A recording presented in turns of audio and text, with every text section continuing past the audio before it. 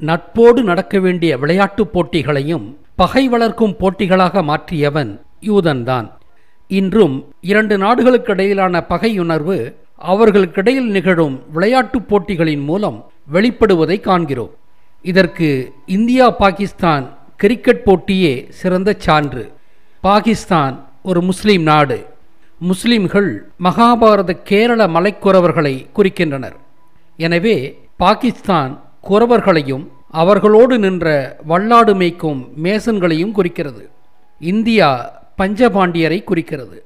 உலகக்கோப்பை கிரிக்கெட் போட்டிகளின் போது இவர்களுக்கிடையிலான இறுதிப் போட்டி பல சமயங்களில் பொங்கல் பண்டிகையின் போது நடந்ததை எண்ணி பாருங்கள்.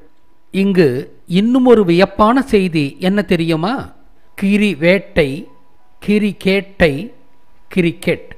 கிரிக்கெட்டின் சொல் மூலம் வியப்பாக உள்ளதல்லவா?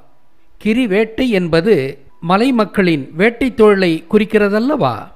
ஆமாம். மலை மக்கள் பறவைகளை வேட்டையாடும் நுணுக்கங்களின் அடிப்படையில் தமிழகத்தில் உண்டாக்கப்பட்ட குழந்தைகள் விளையாடும் கோட்டிப்புல் அதாவது கோடுப்புல் என்ற விளையாட்டை ராவணீயத்தை குறிக்கும்படி சற்று மாற்றம் செய்து ராம லக்குமணனுக்கு எதிராக பதினோரு ராவணர்கள் விளையாடுவது போலவும் அல்லது ராவண இந்திரர்களுக்கு எதிராக பதினோரு ராமர்கள் விளையாடுவது போலவும் வடிவமைத்து அந்த விளையாட்டையும் மகாபாரதத்தை குறிக்கும் வண்ணம் பொங்கலின் போது விளையாடுகிறான் பார்த்தீர்களா? இதை பற்றி நான் நண்பர் அருண் பிரசாத்திடம் பேசிக்கொண்டிருக்கும் போது அவர் ஆமாம் ஐயா டெஸ்ட் மேட்ச் கூட மகாபாரத பாண்டியரை குறிக்கும்படி ஐந்து நாள் மேட்சாகத்தான் விளையாடப்படுகிறது. அது பெரும்பாலும் பொங்கல் பண்டிகையின் போது இருக்கிறது என்பதும் உண்மை. இப்போது கூட ஆசிகளுக்கும் இந்தியாவிற்கும் இடையில் நடக்கும் டெஸ்ட் தொடரின் இறுதி டெஸ்ட் மேட்ச் நடைபெற்று கொண்டுள்ளது. அது ஜனவரி பதினோராம் தேதிதான். அதாவது பொங்கலுக்கு இரண்டு நாட்களுக்கு முன்புதான் முடிகிறது என்றார். ஆஸ்ட்ரா என்பது இந்திரனோடு தொடர்புடையதென்பதால் இம்முறை பதினொன்றாம் தேதியில் முடிக்கிறார்கள் என்று எண்ணுகிறேன்.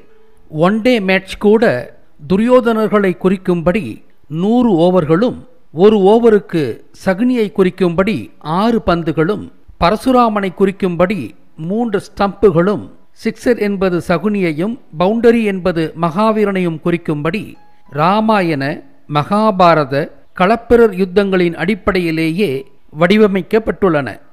ராவண இந்திரர்கள் மலை மக்களான யக்ஷர்கள் அல்லவா?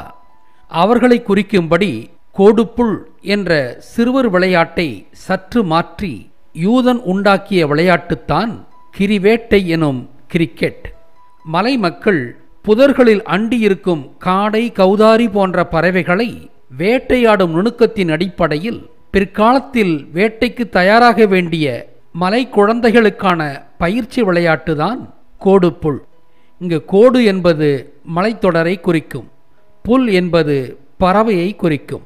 கோட்டிப்புல் என்ற விளையாட்டின் வரலாற்றை தேவநேய பாவாணர் அவர்களின் தமிழர் விளையாட்டுகள் பற்றிய நூலின் மூலம் அறிந்தேன். கிரிக்கெட்டை பற்றிய விரிவான விழியம் பிறகு செய்கிறேன்.